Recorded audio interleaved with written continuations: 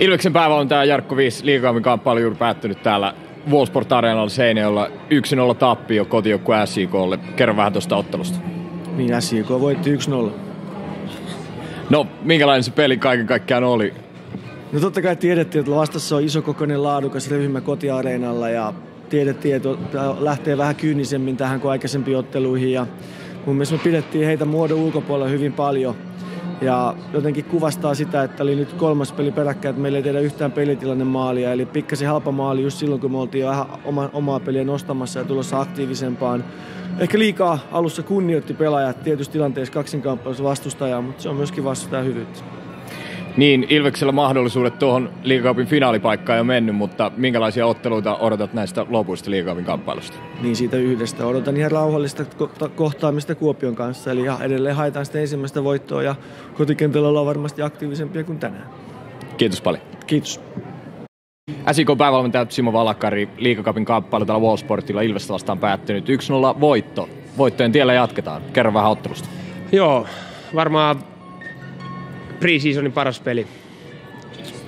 Pallollinen pelaaminen, eka, eka 60 minuuttia. Et oltiin tosi hyvin pallolla ja pallottomien liike, mikä teki sen mahdolliseksi, oli, oli erinomaista. Ja, ja sitten lopussa täytyy kuitenkin muistaa, että tehtiin maali ja sitten puolustettiin loppuja taas clean sheet, eli koko joukkueelta hieno puolustaminen.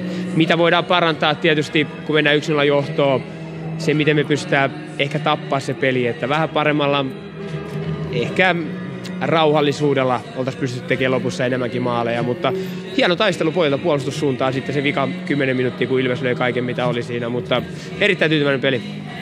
Jere Koposelta tänään hieno nollapeli. Mikä Laksalu ei tänään maalilla, oliko siihen joku erityinen syy vai pelkkää leputusta?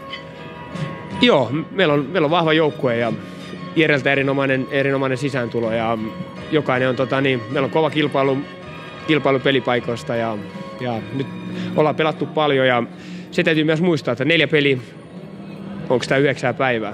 Ja homma vaan parani koko ajan sillä että se kertoo, kertoo mihin, mihin suuntaan me ollaan menossa. Että joo, paljon vielä töitä kuitenkin tehtävänä ja homma, hommat jatkuu huomenna aamulla, mutta tästä mennään.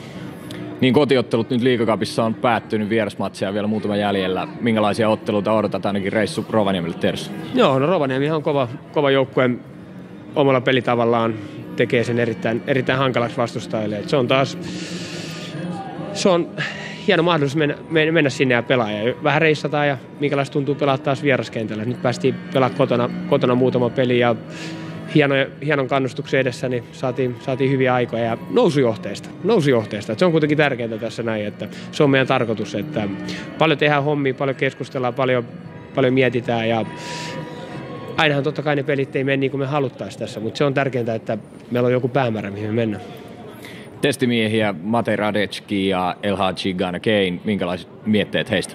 Edelleen kolmas peli, mikä pojat pelas ja parantaa peli peliltä. Että mielenkiintoisia tapauksia. Kiitos Simo. Kiitos. Meidän kerho.